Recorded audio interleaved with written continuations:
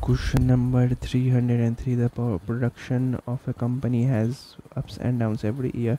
The production increases for two consecutive years consistently by 15%, and in the third year, it decreases by 10%. Again, in the next two years, it increases by 15% each year and decreases by 10% in the third year. If we start counting from the year 2008, approximately what will be the effect on production of the company in 2012? ठीक है।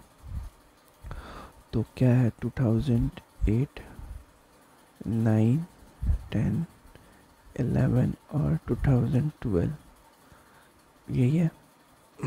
Ups and down सारे इसी में।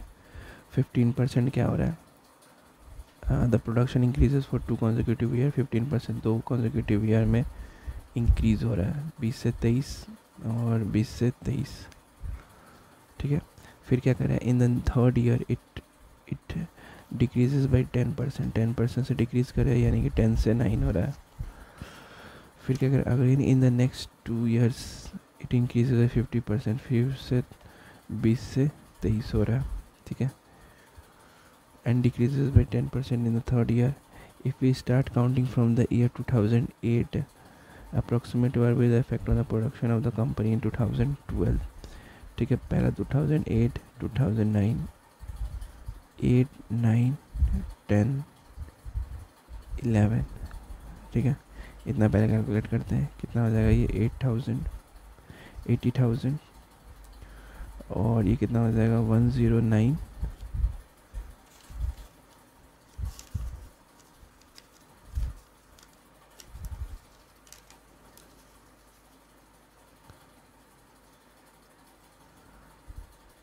one zero nine five zero three, ठीक है?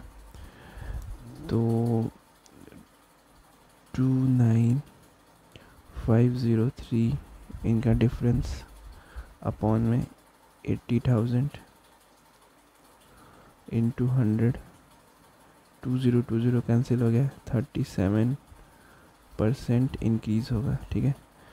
यानी कि option C हमारा सही आंसर होगा what will be the effect on the production of a company two thousand two thousand twelve में क्या होगा सैंतीस परसेंट इंक्रीज़ होगा